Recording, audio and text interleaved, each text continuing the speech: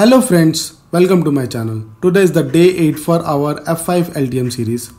So in this video, we are going to understand the ratio based load balancing. So in my previous video, I've covered how exactly a round robin works, like the round robin load balancing.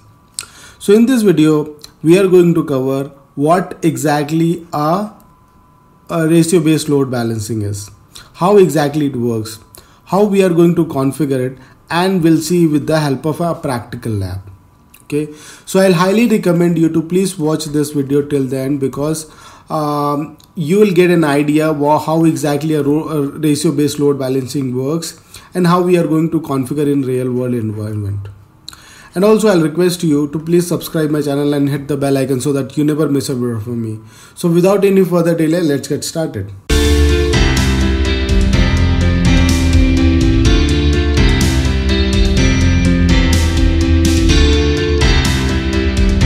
So friends, now we'll understand what is ratio based load balancing and how exactly it works with the help of this image. Okay. Now basically, uh, let me tell you the structure. So first of all, the nodes will be there. So for an example, you just understand these blue, the round circles are nodes, right? Okay. And these nodes are combined into a pool. Okay now this pool will be called under uh, virtual server, right? Now the virtual servers will be particular uh, the IP address where we'll configure the IP address and the client will be accessing the virtual server, right? Now the virtual server is the IP address the client knows. Okay. Now after that the load balancing will take the pool and after that the node will be taking care after that. The uh, load balancer will take care of that. Now to understand ratio based load balancing first of all why we have to do ratio based what exactly it is okay? So ratio based is something that we will define according to the connection okay? So let's say we have let's say four members. As you can see there are four members over here okay now I want to send 10 connection to this node. I want to send 5 connection to this 2 connection to this 1 connection to this.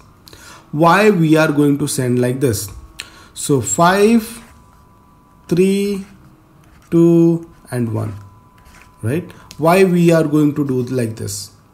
So to know un, uh, to understand about this thing first of all we need to understand the server okay so let's say I bought a server. Today I have bought a server or for an example if I try to understand from your perspective or from our perspective like the individual perspective maybe I'll get a laptop today okay it has a specs of let's say 4 GB of RAM or something in maybe 2012 okay and i see that no i like this laptop is like uh, old. Now i need to get a new laptop. Now basic configuration of a laptop right now or maybe in 2018 would be 8 gb now i need now on a new laptop. For this i have a 16 gb which is a default. Wherever i go for any uh, high range laptop i'll be getting 16 gb of ram. So what the specs are getting increased right now whatever the work this laptop was doing it will be double for this. And it will be double if I compare with the second laptop. Same way the servers also be like that. So in that case I if I'm sending five connection I'm just telling you a five connection. That means 5000 connection right? So if I am distributing like this the lower the specs will be the lesser the connection or the uh, yeah the connections I'll be sending to the server. Right? So it depends on what specs the server is having. Accordingly I'll process the traffic and this is what the ratio based load balancing means over here and this is how. We cannot de demolish the particular server and send out of the organization. Because we are paying the support we are paying for the maintenance and all those things why should we waste? Or the servers are loaded over there. Like the softwares are loaded over there. So why to waste those servers? We'll use it and we'll do the load balancing uh, according to their specs so basically if we try to understand the highlight of or what is the point to understand the ratio based load balancing is nothing but according to your specs what you are having the ratio based load balancing will help you to understand the requirement of your system okay and you can manually decide how much connection that you want to send to this machine this machine or this machine or this machine. So you just understand the ratio over here. So the let's uh, for, uh, I'll, I'll make it very very easy for you guys. So first three connection will be here then 2 then 1 then 1 same 3 connection again here then here then here then here. So basically there are uh, if you try to understand the number maybe you can pause the video and you can understand. So first second third fourth. Then fifth sixth seven eight nine ten eleven. Something like that it is going. So if you try to understand the ratio this is how it works exactly. I'm i explain you in a very easy way so that you can understand it okay so that is a gist if you have like 10 5 7 connections so three connections will be going to this two connections will be going to this one and one like this it's it okay now we'll go to the lab and we'll understand how we are going to configure the ratio based load balancing. This is a very very easy way. We just need to change some of the parameters and it will be done. So we will be we are using the old topology. I'll explain you how it is and then I'll configure it. Okay. So yeah, let's go to the lab now. So friends, uh, we are going to the lab now. Uh, so this is the topology that we have used for round robin and we are using for ratio based load balancing as well. Okay so same lab we are using and we have already configured the virtual server which we have already did it in the previous video. So what i can do is i will recommend you to please watch my previous video which was day 7 and what i can do is you can find it in i button or i can put it in the description uh, box. You can find the day 7 link and you can go and check that out. Okay? So virtual server i have already created. I have created the pool. I have created the node everything is done only we have to change the load balancing as a ratio based load balancing right? So what we have to do is we have to go and uh, we have to explore that particular big ip how it is done okay? So before to that i just wanted to clarify some some of the things. So you just consider this one as a outside so somebody coming from internet they are going to access the virtual server. We have pool inside that and we have node inside that. Now in the node i have mentioned the server 1 server 2 server 3 and it is accessible. So this is inside. And this is a management i am accessing from my PC to this big IP. So let's get into the dashboard of big IP. Okay. So maybe login. I will just log in admin and I will put the password. Okay.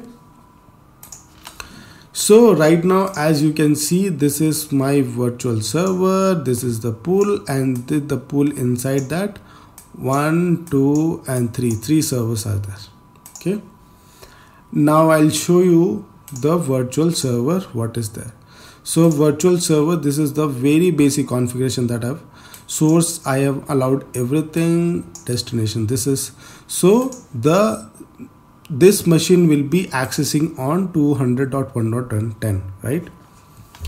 Port number 80 http s uh, uh, TCP everything. So it is a very default configuration that I'm using okay? And in the virtual server I'm calling the server pool. So if I go to the pool I have only server pool. And in server pool I have a member of server 1 server 2 and server 3 okay? Now what we are having load balancing method. So we are changing this load balancing method to ratio member or we have ratio nodes as well so what is the reason behind this node member and node uh, sorry ratio member and ratio nodes? Okay. I'll talk about ratio uh, session uh, least connection and ratio. These are the dynamic load balancing right? And whatever we are talking about it, it is a manual load balancing okay?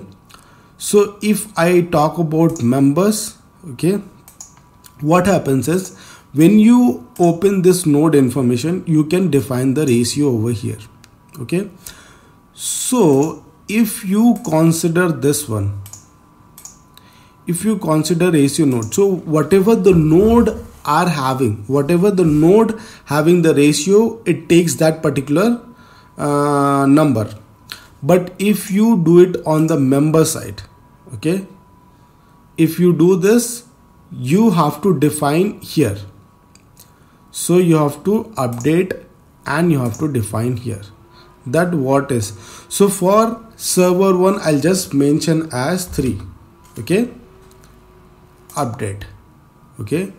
And then again I'll go to the member 2 which is server 2 I'll make it as 2 right? Update. Same I goes for this and I'll make it as so 3 2 1 so what was? The first three connection will be going to server 1 then 2 and then 1 okay? So this is how the ratio based load balancing gets configured.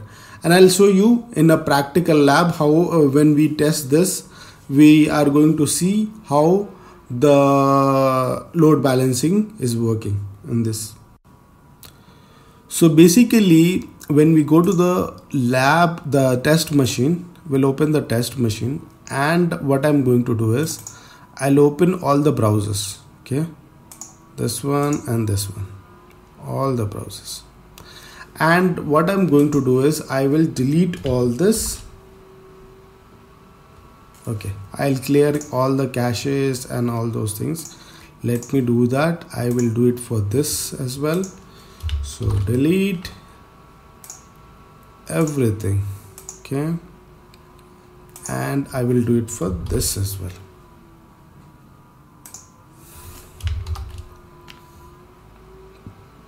So not last hours all time clear now. And I'm going to try I'll, I'll try to access.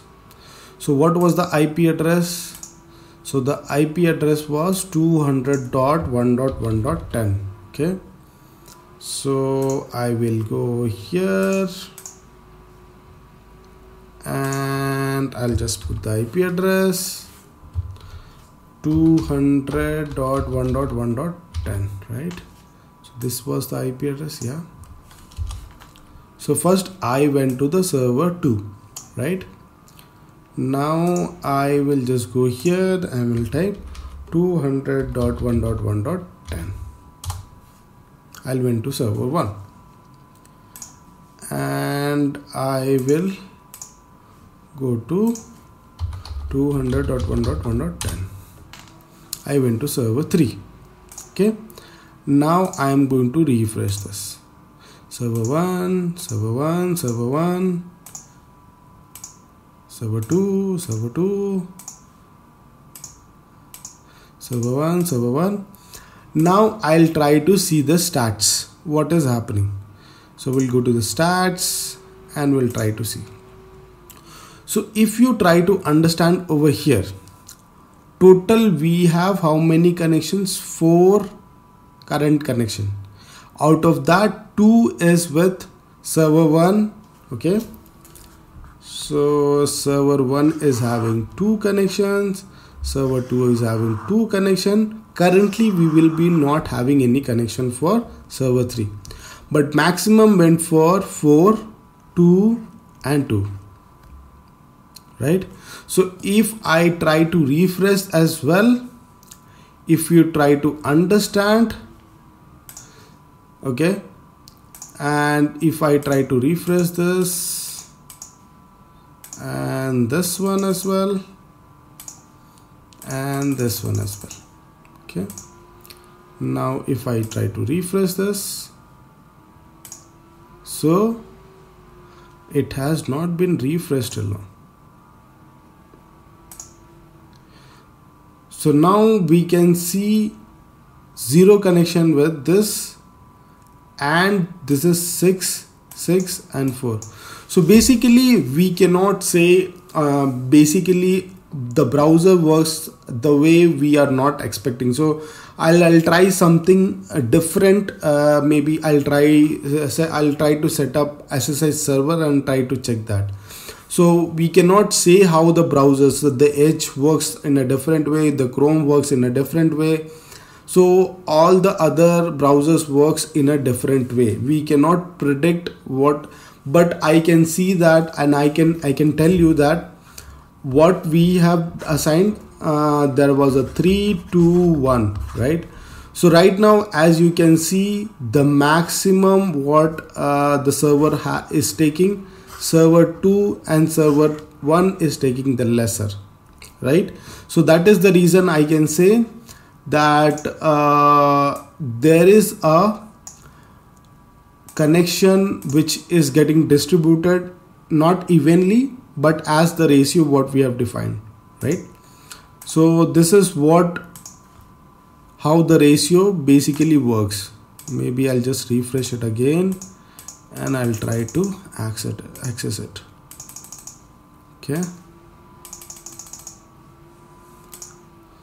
So I'll just refresh this and we'll see. So basically as you can see a1285 right? So as you can see the connections the more the connection is and you will be having a more visibility then only you will be able to understand that the connection are distributed as per the ratio what we have defined. Okay? So guys uh, this is a manual way of doing the load balancing and I have covered the round robin as well as the ratio based load balancing. This is what I wanted to cover in this video if you have liked this video please hit the like button. If you have increased your knowledge please put it in the comment. If you have any suggestion please put it in the comment or you can send me an email or maybe you can send me a message on instagram facebook wherever you want. Thanks so much for watching. And don't forget to subscribe my channel and hit the bell icon so that you never miss a video from me. Thank you so much and i'll see you in the next one